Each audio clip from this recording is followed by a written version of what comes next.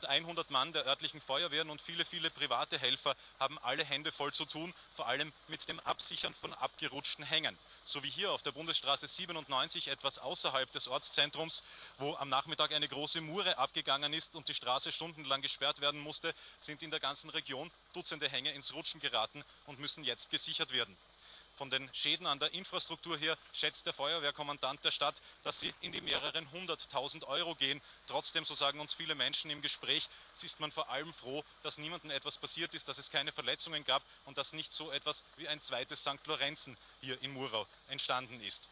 Was das Wetter betrifft, sagen die Meteorologen für die kommenden Stunden und auch für die kommende Nacht keine weiteren wesentlichen Niederschläge voraus. Für morgen allerdings traut sich jetzt noch niemand eine wirklich genaue Prognose zu, denn die Gewitterzellen hier im Raum Obersteiermark sind sehr, sehr kleinräumig und da sind exakte Prognosen sehr, sehr schwierig. Eine wirkliche Entwarnung kann also noch nicht gegeben werden.